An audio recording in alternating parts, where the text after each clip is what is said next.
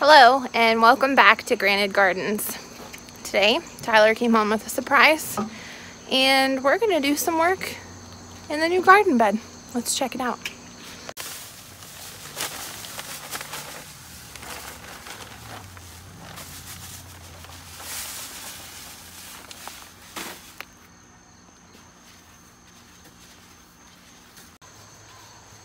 So Tyler came home today with some sand, dirt, and soil conditioning compost.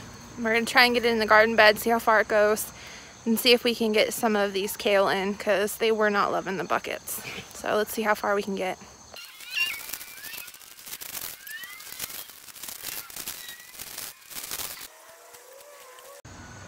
So for this bed, if you remember, we had a few different kinds of kale and then some peppers.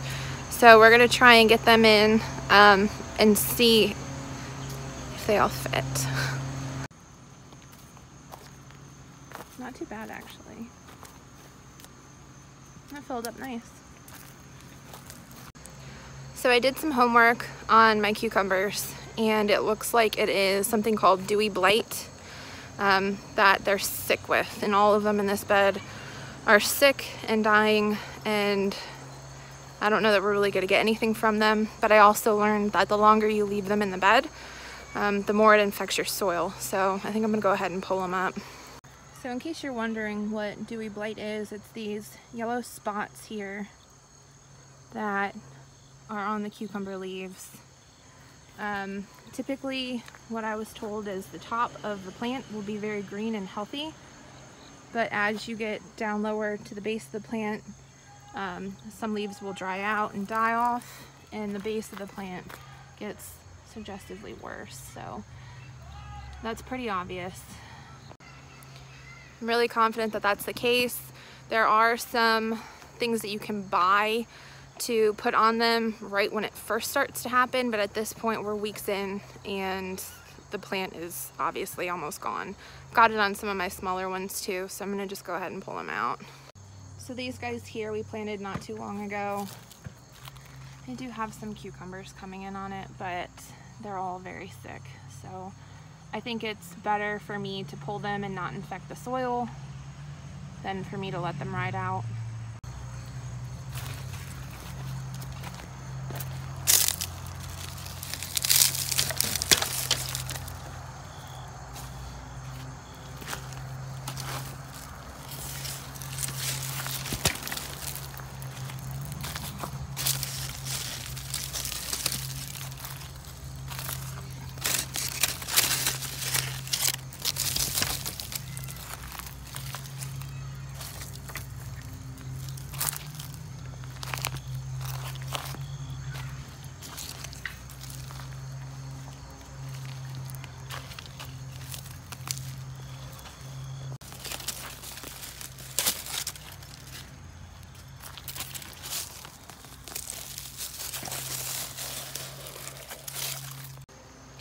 Now, while you're doing this, you want to make sure that you get into the dirt well and you remove any leaves that may have fallen off of them as well and dried up.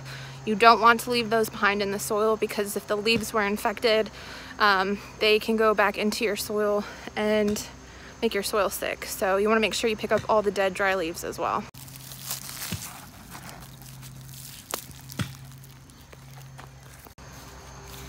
Now I will go ahead and take some of the smaller cucumbers that were growing on there and pick them off of these plants. Um, they can be pickled just as is they're very tiny. Um, so it's not a total waste. You can take the small stuff and pickle them. Um, but as far as the plants go, you want to make sure that you dispose of them in somewhere safe. So we're going to burn them. Um, but you don't want to put them in any kind of compost pile because again, they could infect your soil. So we're gonna go ahead and toss them on the burn pile. Oh, I missed it. Going all the way, huh? Yep. Back to Eden Garden.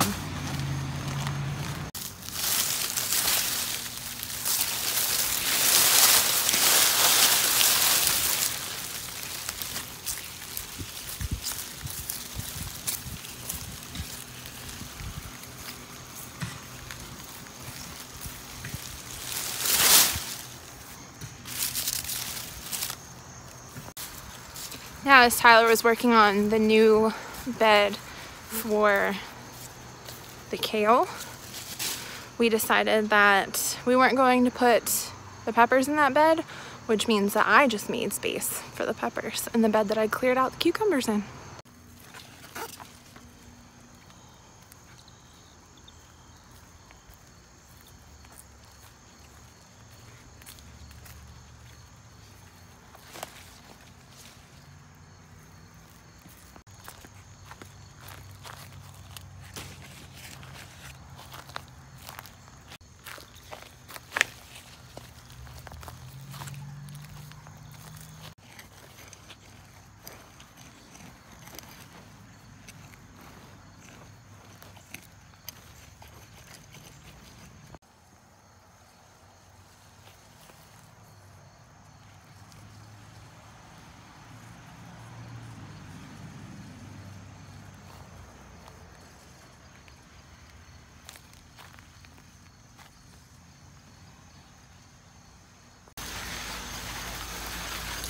Hey, Hanson. Hi.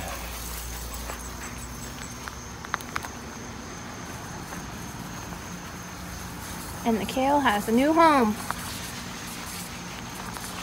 It's very pretty. Thank you all for watching. We'll keep you posted on the fall garden. Thanks for watching. I look forward to sharing more with you soon.